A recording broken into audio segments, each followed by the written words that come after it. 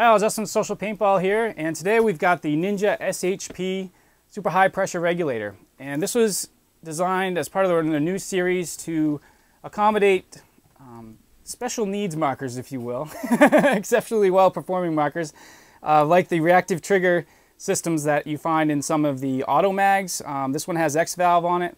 Um, and the higher the pressure you have, the faster this puppy's going to shoot. So what we'd like to do is take this outside, actually um, compare it with a normal, if you will, 800, 850 high pressure tank compared to the 1100 PSI and show you exactly what this can do for you if you've got an Automag. So let's take a look. Okay, here we have the SHP Ninja regulator. You can see the markings right on there. See it has the double O-ring design in case one fails, keep it going. And uh, came with a little fill nipple cover. And there's the threads. So I've already taken out the two um, grub screws that go in the bonnet here on each side. You just use an Allen key for that.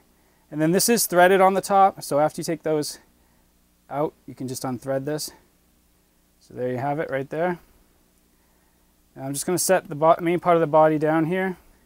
Okay, once you've got the bonnet off, you can go ahead and take this apart. You can see the, uh, the inside there. And here are the shims.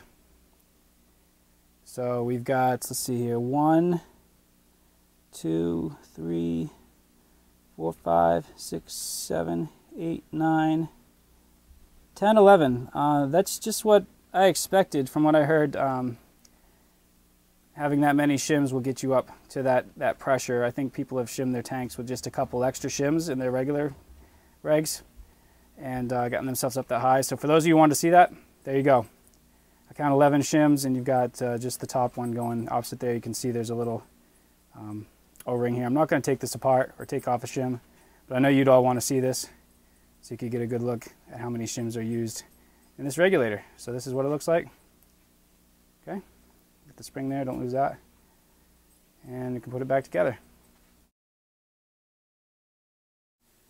So let's test the standard one. You can see we're setting right at 850. Now for the SHP reg, you can see it's right off, right off the scales there. But if you look at the intervals here, you can see that that's definitely in the 1100, maybe even going on close to 1200 range. It's just right off my gauge. Go for it.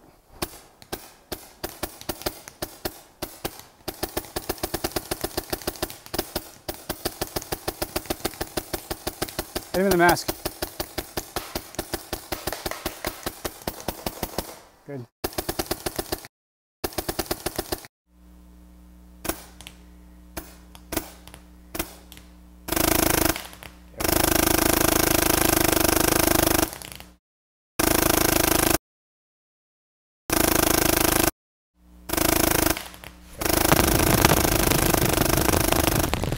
Nice. Okay, so as you saw, at 1100 PSI makes a huge difference with your firing rate on one of these reactive trigger-based Automags. Um, I think it's going to be worth your money. If you're someone that's running an Automag, you really want to see what you can do with your marker, get the most out of it. You like to play with things like a lot of people do with their markers.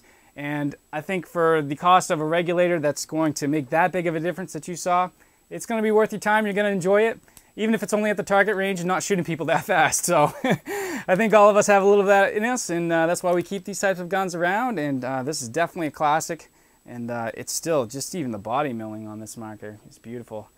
Um, having 1100 psi behind it, go and do it. Enough said. Take care.